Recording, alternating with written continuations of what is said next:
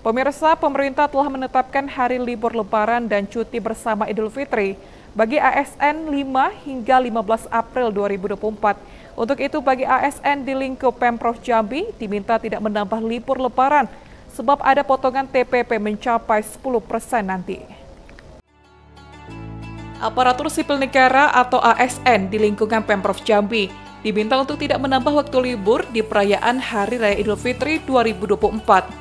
Hal tersebut disampaikan langsung Sekda Provinsi Jambi Sudirman, di mana sebelumnya pemerintah telah menetapkan hari libur lebaran dan cuti bersama Idul Fitri bagi ASN dari 5 hingga 15 April 2024. Lebih lanjut kata Sekda Sudirman, pada 16 April mendatang dijadwalkan mulai masuk kerja. Untuk itu seluruh ASN akan mengikuti apel bersama yang dipimpin Gubernur Al-Haris di lapangan kantor Gubernur Jambi. Sekda Sudirman menegaskan bagi ASN yang menambah libur lebaran, maka konsekuensinya ialah potongan TPP dari ASN itu sendiri. Kita kan libur, ada libur nasional sama libur lebaran ya, akan masuk lagi tanggal 16. 16 April sudah kita jadwalkan 16 April itu apel bersama.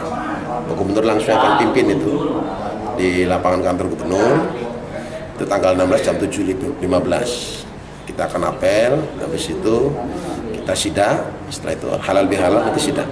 Ya, jadi kita untuk memastikan bahwa libur panjang itu tidak diperpanjang ya. kalaupun yang cuti-cuti kemarin juga kita sekat dulu ya. Baru nanti setelah tanggal 22 22 April baru silakan ajukan cuti lagi. Sesuai dengan instruksi dari Menpan ya bahwa cuti itu tidak diperkenankan baru diperkenankan kembali setelah tanggal 22 April kalau nanti ada yang uh, menambah libur ini Eh tetap konsekuensinya anu loh ke, ke TPP loh besar loh. Potongan ke TPP besar. Untuk yang setelah libur panjang kemudian dia menambah lagi tanpa ada keterangan itu nanti imbasnya potongannya bisa sampai 10% TPP-nya itu besar jadi biasanya sih jarang terjadi itu ya. Kecuali ada izin sakit atau apa gitu ya.